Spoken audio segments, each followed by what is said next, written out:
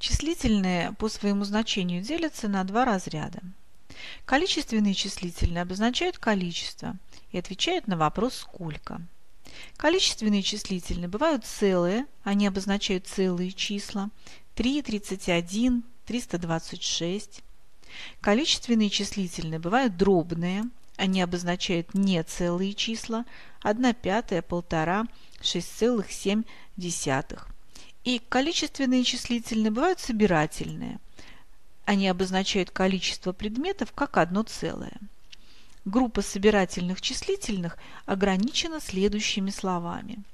Оба, обе, двое, трое, четверо, пятеро, шестеро, семеро, восьмеро, девятеро, десятеро. Существуют определенные правила употребления собирательных числительных существительными. Прежде всего, собирательные числительные употребляются существительными, обозначающими лиц мужского пола, например, трое моряков.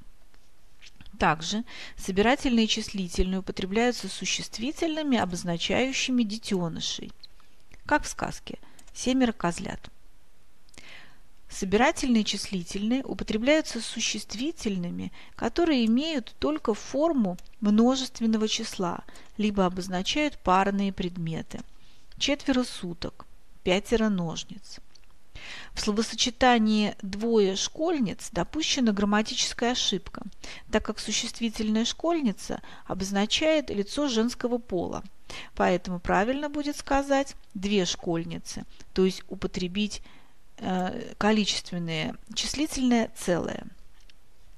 А вот э, существительным школьник, обозначающим лицо мужского пола, можно употреблять как собирательные числительные, двое школьников, так и целые количественные числительные, два школьника. Кроме того, собирательные числительные употребляются с личными местоимениями множественного числа. Двое нас, трое вас – пятеро их. Обратите внимание на особое употребление собирательных числительных «обе» и «оба». Собирательное числительное «обе» употребляется с существительными женского рода. Именительный падеж «обе сумки», в родительном падеже «обеих сумок», в творительном падеже обеими сумками. Собирательное числительное «оба» употребляется существительными мужского и среднего рода. В именительном падеже «оба чемодана» или «оба утверждения», в родительном падеже «обоих чемоданов» или «обоих утверждений», в творительном падеже «обоими чемоданами» или «обоими утверждениями». Кроме количественных числительных, существуют порядковые числительные. Они обозначают порядок предметов при счете, отвечают на вопрос «который» или «который при счете». Пятнадцатый дом. Дом который? Который при счете? Пятнадцатый. 2018 год. Год который?